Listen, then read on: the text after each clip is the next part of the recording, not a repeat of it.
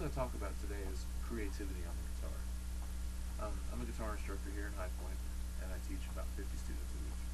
Um, of course, those students learn the basic chords and basic scales and all the songs they want to play.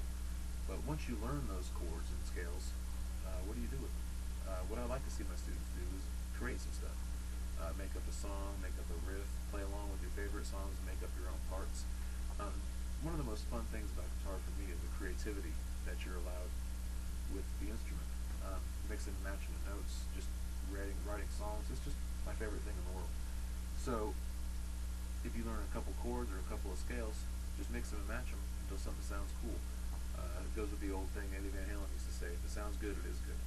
Um, you don't have to be the most technical or anything like that. You hear a lot of students talk about who's better than who. Guitar is not a competitive sport, it's a self-expression. So anything that comes out that you enjoy is succeeding. So I'm going to use a few chords and notes and just make something up to show you kind of how I approach writing a song or how I approach just jamming or goofing around on the couch, whatever it may be that I feel like playing that day. Um, this is where a lot of the material I write for my bands comes from. It's just tinkering around and something catches my ear and I grab it and add some parts to it and the next thing you know there's a song. So this is just my approach to uh, jamming or goofing around or improv, whatever you want to call it. I'm going to start with the D bar chord,